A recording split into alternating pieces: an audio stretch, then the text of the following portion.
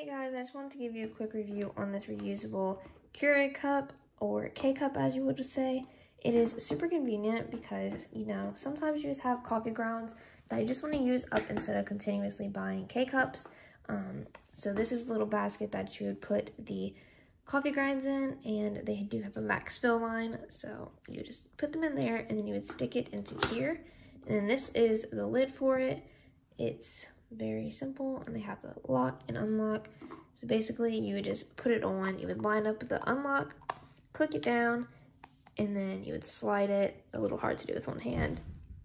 But yeah, then it locks, stick in your K, your Keurig, and it works perfectly. It's literally just like you bought a pack of K-Cups. I absolutely love this.